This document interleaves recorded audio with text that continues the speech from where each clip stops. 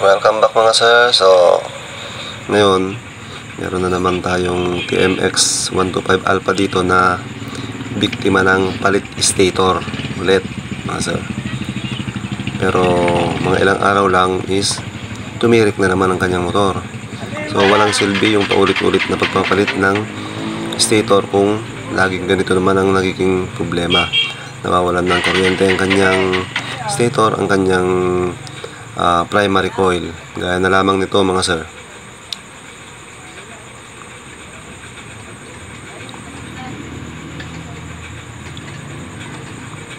Kapindot man tayo starter naman.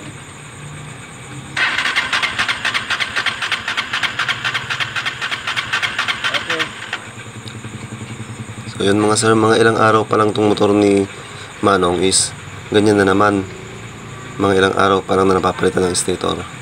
So nag-suggest tayo na subukan nating palitan naman ng 4-pin na CDI. So, sumang-ayon naman yung ating client. Kaya yun na lamang ating gagawin mga sir.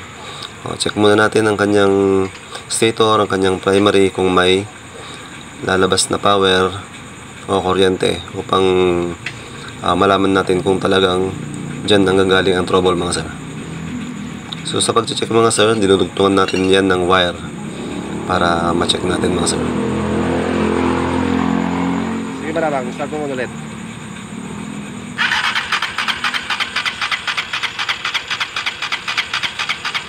So yun nga mga sir, talagang walang kuryente na nanggagaling sa kanyang ah, stator, sa kanyang primary coil. So convert na natin yan mga sir.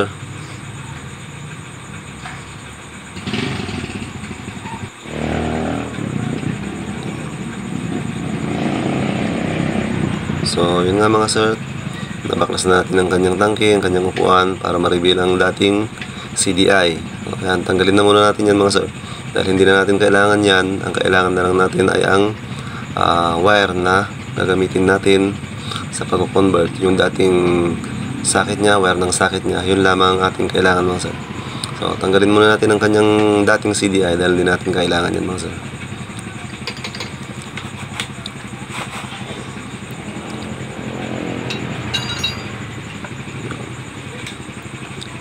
So, ang ipapalit natin mga sir is yan, 4-pin CDI na panglifan 110.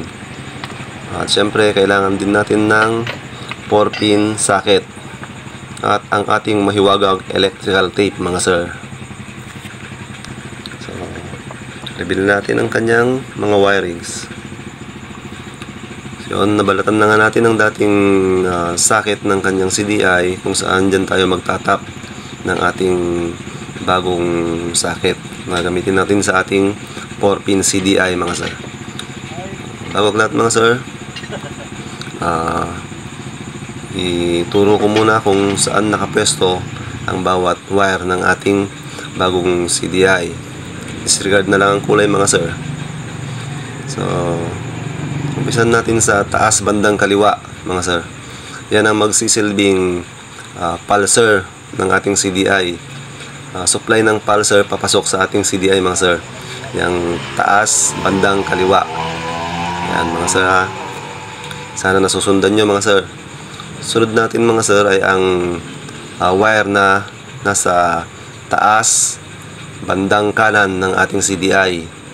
Yan naman ay ang magsisilbing ah, ignition coil supply ng ating motor. Yan, yung nilalabas ng CDI na papunta sa ignition coil. At ang baba, bandang kaliwa naman ang magsisilbing ground control ng ating CDI. Yan. At ang ah, baba, bandang kanan naman ay ang magsisilbing positive supply o B plus supply ng ating CDI mga sir. Yan. So, umpisan natin sa taas bandang kaliwa. Dudugtong natin yan sa kulay blue na may lining na white kung saan yan ang pulser ng ating Honda mga sir so yan dudugtong natin siya dyan mga sir so yun ay dugtong na nga natin ang ating wire na galing sa taas bandang kaliwa papunta sa ating pulser ng ating motor na kung saan ay ang blue na may stripe na white. Kasunod naman natin ang ah, taas bandang kanan. Dudugtong natin yan sa ah, yellow na may stripe na green ng ating harness. Yan. Kung saan yan na magiging supply, magsisilbing supply ng ating yan, ignition coil mga sir. So, dugtong na natin yan mga sir. So, yun, idugtong na nga natin ang magsisilbing ah, pulser ng ating CDI supply ng ating ignition coil. So, yun, idugtong na natin mga sir. Sunod natin is yung ah, baba bandang kaliwa ng ating CDI. Dudugtong natin yan sa pagsasamahin nating solid green at green na may stripe na white ng ating ah, harness. Yan. Pagdudugtungin natin yan dalawang yan mga sir at idudugtong natin yung baba bandang kaliwa ng ating bagong CDI. So yun, idugtong na natin mga sir ang ground ng ating CDI sa pinagsama nating green at solid na green solid at saka green white ng ating ah, harness. So meron na lamang tayo nag-iisang wire mga sir. Ito ay ang baba bandang kanan o ang magsisilbing ah, positive o B plus supply ng ating CDI. Idudugtong natin yan sa black na may wrong lining na red. Yan. Kung saan susuplayan natin yan maya maya ng B flash. Yung karugtong niyang tinanggal natin sa parting baba. So, tapos ng ating pag-convert, pagdudugtong sa ating CDI. Yan. I-organize na lang natin yan maya-maya. Siyempre, sabi ko nga, kung natatandaan nyo, meron tayo convert sa parting baba niyan. Yan. Hanapin lang natin yung pinagtanggalan natin ng yan, ng primary coil sa ating stator, yung karugtong. Ang kailangan lamang natin ay yung nasa taas at yung nasa parting baba na papuntang stator, hindi na natin kailangan. Itong wire na ito mga sir, kailangan nating supplyan ng B-flash. So, kailangan nating idugtong yan sa accessories wire ng ating motor. Na kung ating isususi ang ating motor is masusuplayan ng positive. Yan. Ang B-flash o accessories wire ng ating TMX o ang Honda ay solid black. So, maghanap tayo ng solid black dyan. Mayroon namang malapit sa kanya yung kanyang brake light switch. Diyan na lamang natin idudugtong yan mga sir. Solid black.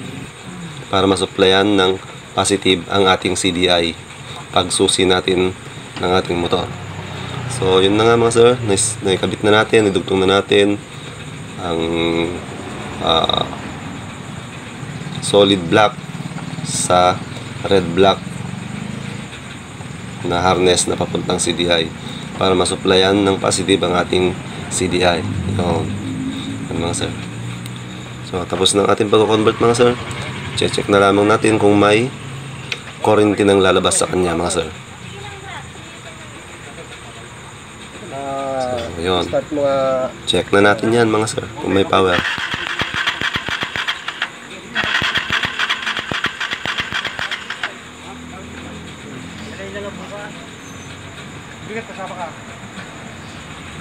So yun mga sir, malakas ng kanyang kuryente. Palabas natin na hindi nagpapalit ng stator. So try natin pandarin mga sir.